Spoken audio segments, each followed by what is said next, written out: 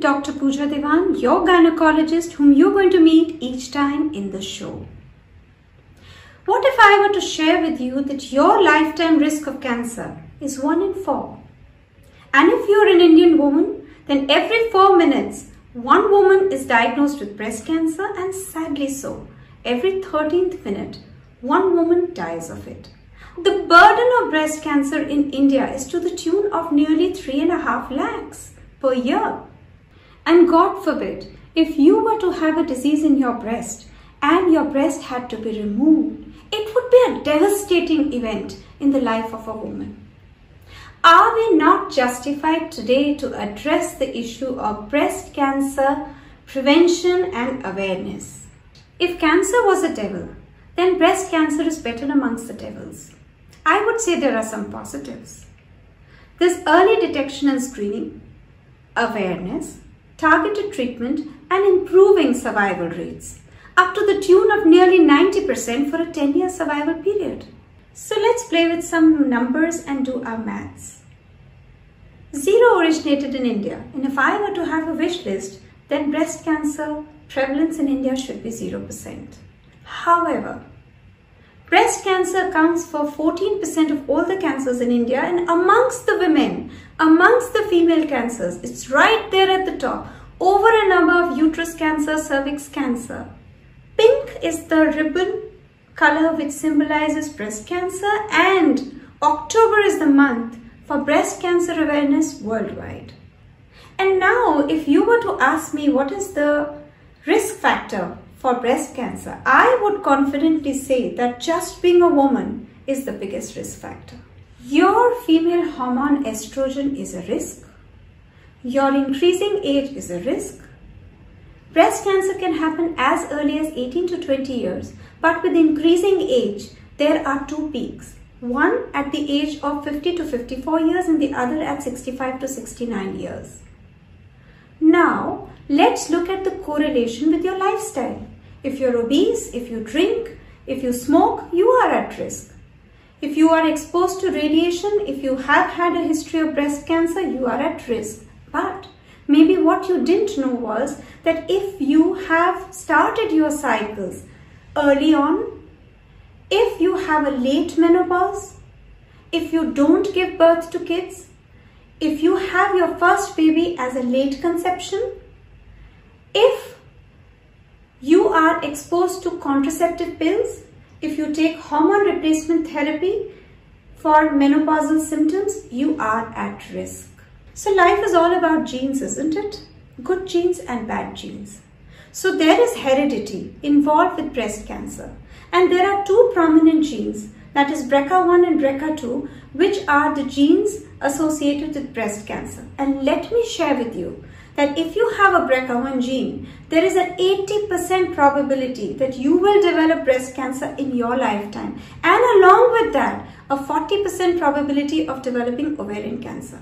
And if you have BRCA2, that's lesser of the two devils, then you have a 40% probability of developing breast cancer and 20% probability of developing ovarian cancer. But that's not all. There are so many other genes. So breast cancer can run in your families amongst the women and if you look around, you may have relatives who are affected with breast cancer.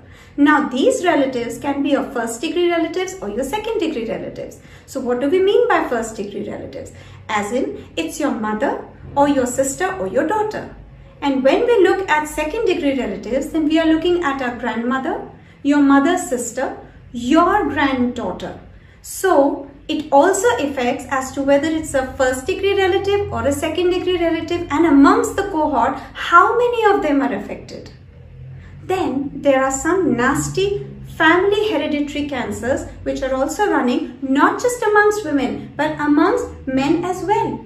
So somebody could have an intestine or a stomach or an esophagus or a kidney or an ovary or a breast cancer reasonably uncorrelated but the cancer runs in your body. So what can you do to reduce your risk? Your genes are not in your hand. You can't just blame everything onto others. Some things are in your hand. Lifestyle modification.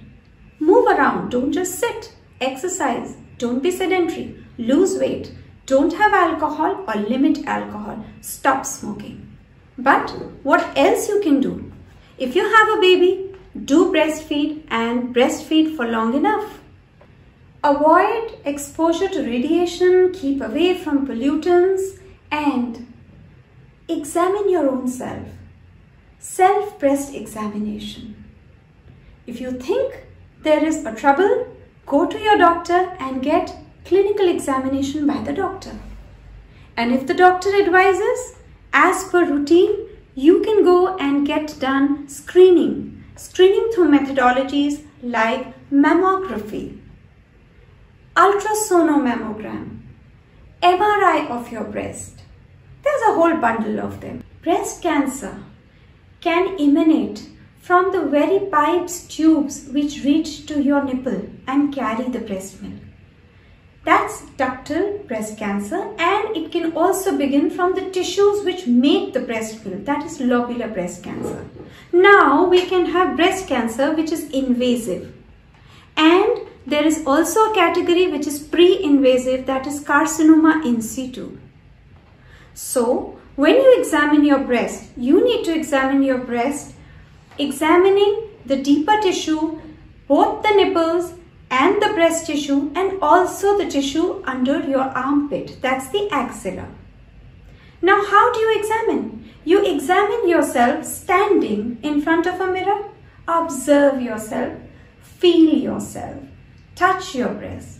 You lie down and that's a better way. In addition to standing, you have to examine yourself lying down because you can feel the breast tissue better and deeper.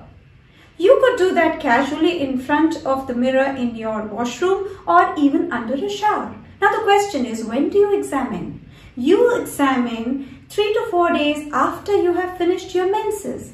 And how frequently? Every month obviously. And when do you start? Well, from the very time you actually get well-developed proper breasts, the moment you are a woman. There are warning signs to pick up breast cancer. You may feel that there is pain or you may feel there is itching or irritation in your breast skin. But when you look into the mirror, you might find that there is a change in the breast size and shape. One breast could suddenly become smaller, the other could become larger, the nipple may get deviated, it may move inwards. When you look at your skin, you may find that there is redness, there is a rash, there is a darkening of the skin, you might find that there is a, a, kind of bump or swelling. Your skin may actually look like the orange like a peau d'orange appearance with a little bit of edema and puckering spots also when you look at your nipples you might find that it's become red it's become flaky it's become itchy and when you press your nipples which is a must must you must always press your nipples to see if there is any discharge. Any discharge which is except whitish discharge which could be milky is of suspicion. There could be frank blood coming out of your nipples. There could be a greenish discharge, yellowish discharge and you must always examine your breast with your own fingers. You might feel a lump uh, which could be as small as a pea or a bigger uh, lump like the size of a tennis ball. You must always examine your underarm because the tail of the breast goes into your armpit. I assume that you would be examining your breast every month. So when should you go and see your doctor to get clinical examination of the breast done by your gynecologist? From the age of 20, Every three years should be the routine for you to go and visit your gynecologist and once you turn 40, every year. So when do you get your mammography done? There are various schools of thought. Some say that the age to begin mammography is 40 and the others say it's 45. But for sure, once you turn 45, you should go and get mammography done every year. When do you stop getting the mammography done? They say that as long as you're alive. The other school says till the age of 75. And then there's another school which says that whatever is the life expectancy in your population, 10 years before that you could stop. Now with increasing life expectancy and with the second wave of breast cancer happening between the age of 65 to 69, you can't stop as soon as that. So please get the breast uh, mammography done for as long as you can. Contact your doctor. There may be tailor-made solutions for you. There may be do's and don'ts individualized for you. Mammography is not a pleasing word for many women to hear. It brings in feelings of discomfort and having to bear yourself in front of a stranger to get a test done. For many, it's an experience of extreme pain because your breasts are pressed and compressed between two plates. Let me assure you that the modern technology does not cause that kind of discomfort and the expertise level itself has changed. So how do we benefit from a mammography? If you cannot see a lesion, if you cannot feel a lesion, mammography will still pick up a lesion even at a microscopic microcalcification level. There are definite benefits. Now mammography has a scoring system which is called BI-RADS scoring 0, 1, 2, 3, 4, 5, 6. 1 means there is negative risk for cancer. Now there is nothing known as negative but that's a calculation. 2 means that the lesion that you have is non-malignant and benign. 3 means it is probably benign. 4 means that it is suspicious of a cancer. 5 means it is highly suspicious of a cancer and 6 means there is frank malignancy cancer. Now I started the scoring with 0, 1, 2, 3, 4, 5, 6. So if you have a score of 0 and 1 means negative, then 0 does it mean that it is so reassuring that you, there is absolutely no probability for you to have a cancer?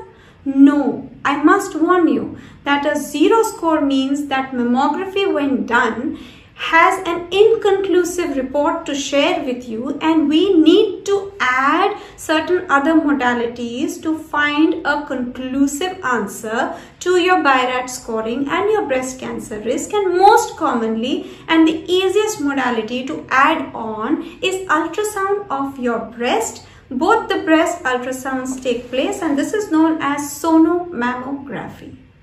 So besides mammography, there is ultrasound of the breast and MRI. Amongst them, of course, MRI is the most expensive. So when do you do an ultrasound of the breast? You do that when there is a lump either in the breast or in the axilla and you want to know the true nature of that lump.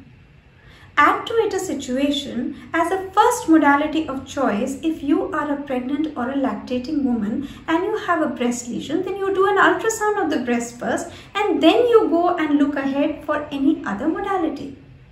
MRI is the most sensitive to be able to pick up the smallest and the most confusing microcalcification lesion. But in routine parlance, it is not that commonly used, but its USP is that in case there is a breast abnormality which is suspected, particularly in a woman who has breast implants in her, or if you've had breast cancer in the past and there is a resurgence which we are suspecting, especially along the line of the previous surgery scar, then MRI is one amongst the best modality. All three modalities are non-invasive as in no needle is put in them they are safe and in case there is a lesion that we have found, if there is a lump we have found, then we can identify the lump with the help of an ultrasound and we can put a needle inside of it to biopsy it. This is an ultrasound guided biopsy. Now this biopsy can be done with a fine needle which is known as FNAC, fine needle aspiration cytology and it can also be done as a true cut biopsy which is a slightly bigger chunk and a deeper chunk. It gives you more tissue for a more reliable diagnosis in one go. Of course, a true cut biopsy today has higher sensitivity and specificity than a FNAC needle. MRI based biopsy can also be done. Although the discussion today is about breast cancer screening and prevention, but no discussion is reassuring if you do not highlight upon the methods of treating. I have already stated that if you are diagnosed early, stay in stage 1, then your prognosis of survivability is to the tune of nearly 90% for up to a period of 10 years. Now, if you are diagnosed with this breast cancer, there can be three modalities of treatment. you might need a small surgery where just the tissue is removed that is the excision of the affected tissue is done or there could be a slightly larger removal of tissue but both of them are breast conserving surgeries. The other extreme could be that the entire breast is removed along with dissection and removal of some parts of tissue from your underarm. Now, in the earlier stages, you may or may not need to add chemotherapy or radiotherapy. But mostly, from stage 1 and beyond, you need to add radiotherapy, which is the radiation which is given onto your breast. For most cases, besides the surgery, chemotherapy and radiotherapy are also added. For the lucky ones, they may not need to have a tablet for a period of 5 to 10 years of their life after breast cancer diagnosis because they may not be needing a hormone therapy but for most they need to pop in that tablet because they may be sensitive to certain receptors and hormones like estrogen and progesterone and HER2 The world isn't as gloomy. It's the lens with which you look at it. There are inspirational breast cancer survivors, celebrities like Angelina Jolie from Hollywood, former President Reagan's mother, and Tahira Kashyap from our very own Bollywood. The old adage, prevention is better than cure, shall always stand true. The discussion today was not to disturb you, but to sensitize you to the issue of breast cancer. I wish you all good health, stay safe, see you next episode. Goodbye and thank you.